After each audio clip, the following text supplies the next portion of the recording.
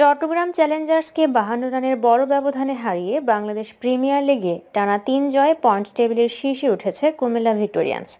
প্রথমে Liton Das Faf du Plessis, Cameron রেলপোর্টদের ঝড়ো batting, এরপর নাহিদুল ইসলাম, মোস্তাফিজুর রহমানদের দারুণ বোলিং পারফরমেন্সে এই জয় তুলে নেয় কুমিল্লা। চট্টগ্রামের জহুর আহমেদ চৌধুরী স্টেডিয়ামে টস হেরে আগে ব্যাটিংয়ে নেমে শুরুতেই মাহমুদুল হাসান জয়ের এক উইকেট হারায় কুমিল্লা। এরপর লিটনের সঙ্গে আশি রানের জুটি গড়েন তিনে নামা ফাফটু প্লেসিস আগ্রাসী ভঙ্গিমায় ব্যাট চালাতে থাকেন এই দুই ইনফর্ম ব্যাটার, কিন্তু দুর্ভাগ্য লিটনের। হাফ সেঞ্চুরি না করেই নাসুম আহমেদের বলে ফিরে যান তিনি।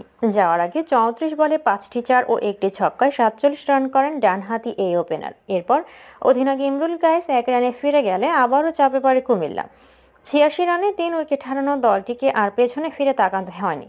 ডেলপোর্টকে সঙ্গে নিয়ে শেষ পর্যন্ত সামাল দেন ফফটু প্লেসিস দেখে শুনে খেলে বিপিএল ক্যারিয়ারের প্রথম হাফ সেঞ্চুরি তুলে নেন ডুপ্লেসিস অপর প্রান্তে আরও বিধ্বংসী ছিলেন বিপিএল এর নিয়মিত বিদেশি রিক্রুট ডেলপোর্ট এই দুজনের কল্যাণে নির্ধারিত বিশ ওভারে তিন উইকেটে একশো তিরাশি রান তোলে কুমিল্লা। ডেলপোর্ট একান্ন রান করেছেন মাত্র তেইশ বল খেলে, চারটি চার ও তিনটি ছক্কায়।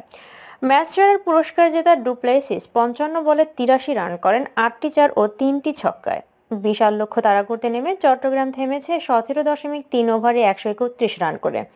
চট্টগ্রামের কাছে বিয়াল্লিশ বলে সাতটি চার ও তিনটি ছক্কায় উনসত্তর রান করেন ওপেনার উইলজ্যাক্স এছাড়া উল্লেখযোগ্য স্কোর নেই কারও। কেবল মেহেদি হাসান, মিরাজ দশ ও মৃত্যুঞ্জয় চৌধুরী তেরো এই দুই অঙ্ক পার করেছেন।